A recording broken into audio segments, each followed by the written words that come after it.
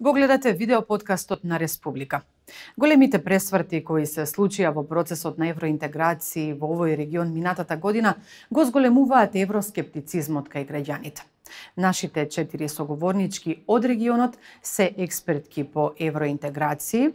Тоа се Радосвета Василева од Бугарија, Александра Вудури од Грција, Катарина Тадич од Србија и Малинка Ристевска Јорданова од Северна Македонија. Господја Василева, какви се изгледите наскоро Македонија и Бугарија да ги надминат недоразбирањата со што би се отвориле пристапните преговори за Скопје?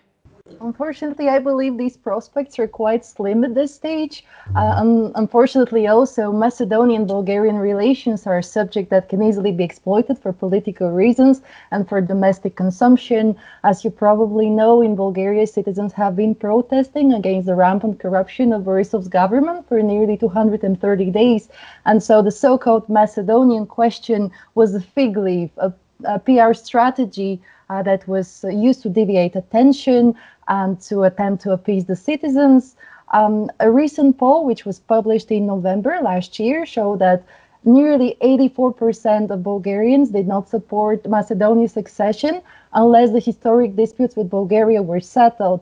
And so, considering that elections are coming up, it is unrealistic to expect that Borisov's government will change their stance also, uh, most of the parties that we expect to make it in the next parliament have expressed public uh, positions that are very close to the stance of Borisov's government. So, in this light, we cannot uh, expect a change of position unless there is, of course, pressure by external actors, key players such as the United States.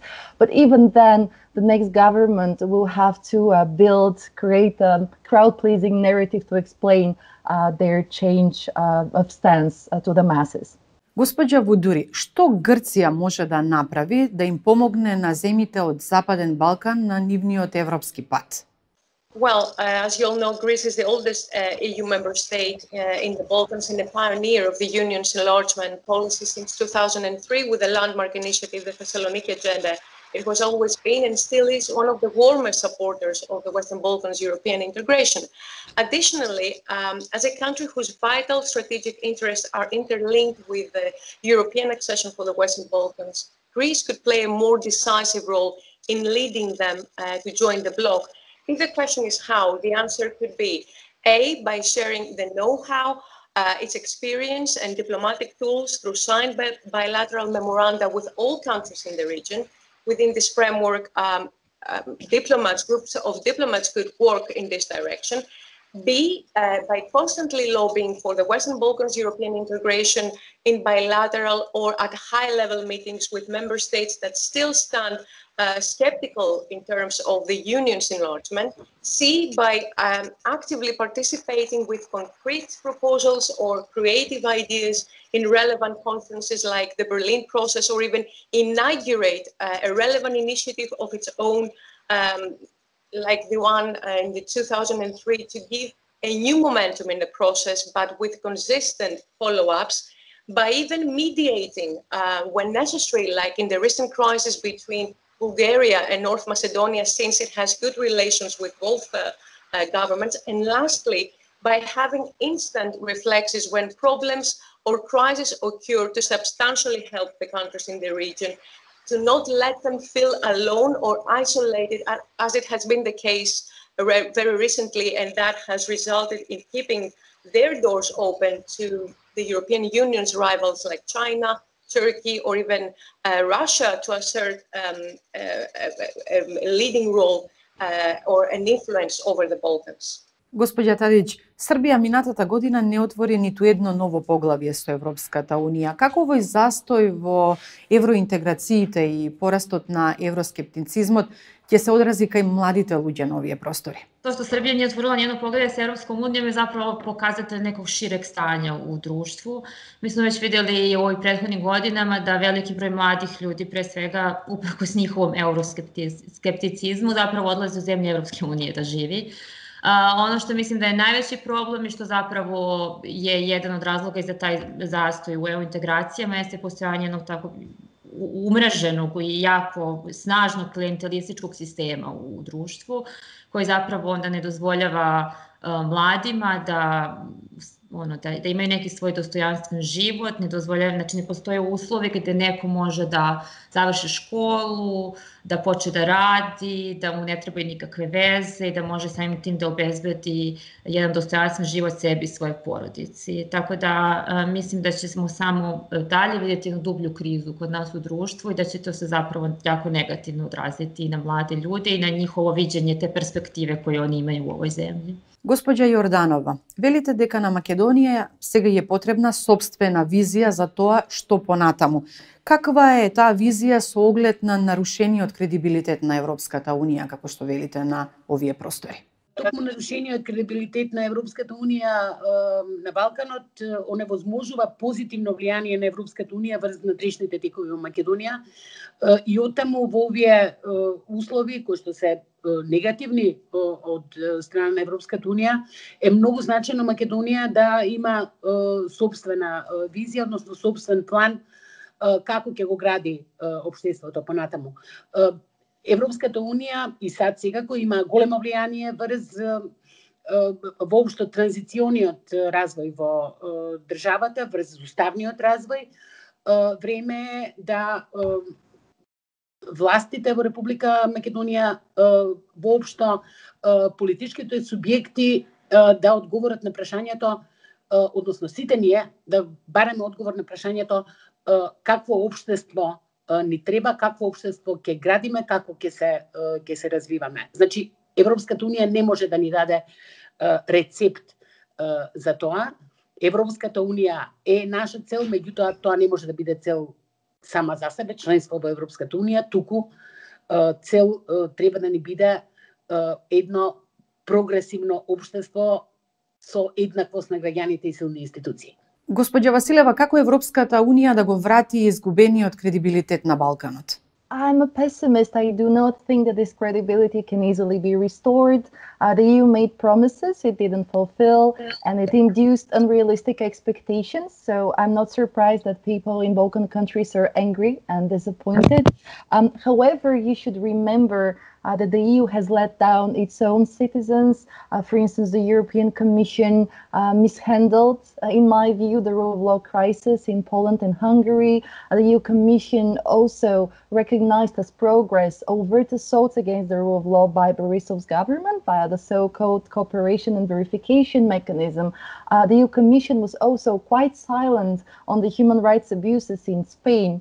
And so, having this in mind, it's not surprising that Euroscepticism is on the rise.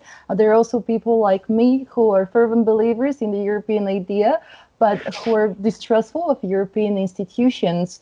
And so I call this Brussels skepticism. So Brussels skepticism is also on the rise. So overall, uh, the union is in a crisis of trust Uh, it has too many problems of its own that it needs to resolve. And before this happens, it cannot serve as a role model other countries can aspire to. Господја Вудури, дали Брисел е свесен за последиците од застојот на европските интеграции на Западен Балкан? Well, um, it is true that today's European enlargement policy is in a profound crisis. The EU is currently being consumed with other problems like the pandemic and its multi-level consequences, with setbacks in its uh, vaccination strategy. And at the same time, the EU, I could tell you that is preoccupied with problems uh, interlinked with the lack of its own foreign policy strategy and direction.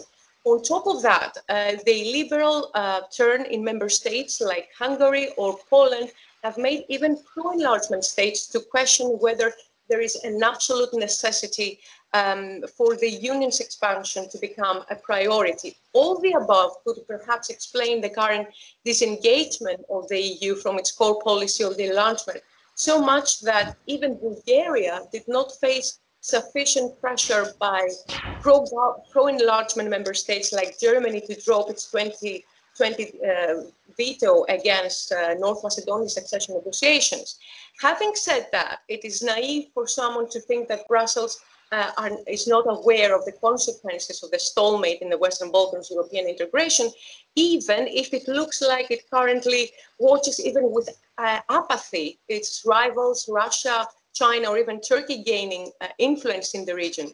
But the Union's geopolitical strategy, whether Paris or Berlin like it or not, uh, it seems that will be first tested in the Western Balkans. To demonstrate that its action and commitments make a difference internationally, the EU uh, should demonstrate, demonstrate, I could say, uh, that its cloud matters, that um, its role is, is significant in its own backyard. For this to happen, I think uh, the EU should be able to formulate a more transformational model for the uh, enlargement process as um, it has not achieved this through the 2020 revised enlargement methodology. It should engage itself, I could say, into an open and frank dialogue with the, the um, Western Balkans uh, countries uh, to ensure uh, that uh, it could, it could, they could attract investments, which is really important, to ensure that the battle against corruption is successful, and finally to uh, find common mechanisms uh, to enable the aspiring countries to join the blocs. Uh, and having said that, and lastly, um, perhaps the decision-making process needs to change with the introduction of the qualified uh, majority, and perhaps that could shield the process from um, new prerequisites that some member states often table um, and have nothing to do with the Copenhagen criteria, as it has been uh, recently the case with Bulgaria's veto against North Macedonia. Господја Тадич, како вие гледате на нормализирањето на односите меѓу Белград и Приштина? Може ли да предвидите скоро решение кое би го релаксирало регионот?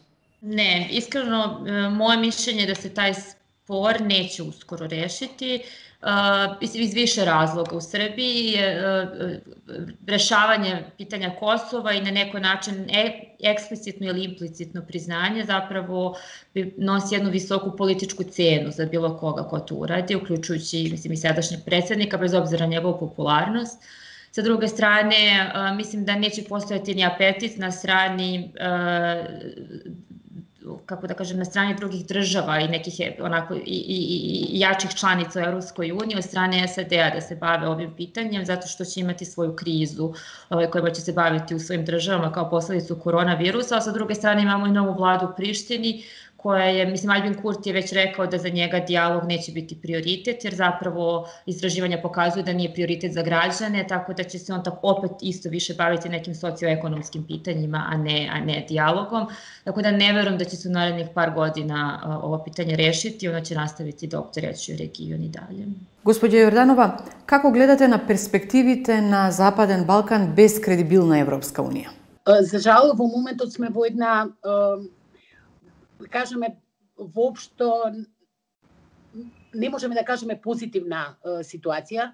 Значи, е, во моментот Европска Унија е прекупирана со незините проблеми, е, нема влијание врз Балканот, има загубен кредибилитет, особено по прашањето со блокадата од Бугарија врз Македонија, така што или ќе се смени нивниот период за да се направи пресврт, или за жал работите понатаму доколку останат статус кво ќе се влошуваат, односно влијанието на Европска унија нема да биде онакво какво што е, треба да биде и можни се и последици по стабилноста од, е, во, во регионот. Оттаму е од огромно значење државите во регионот да ја зголемат својата отпорност е, кон е, надворешни негативни влијанија особено како она што ние го имавме од Бугарија изминатата година. На кој начин еве тоа би се направило? Како би го зголемили, би ја зголемили? Значи, прво е зајакнување на внатрешната кохезија. Во државите не треба да се очекува дека Европската унија, дека надворешните сили ќе ги решат сите наши проблеми и мора систематски да се приоѓа на тие проблеми, да се зголеми квалитетот на процесот на донесување на, на одлуките и дефинитивно да се сврти повеќе кон институциите, нивното јакнење и кон граѓаните. Го гледавте видео подкастот на Република.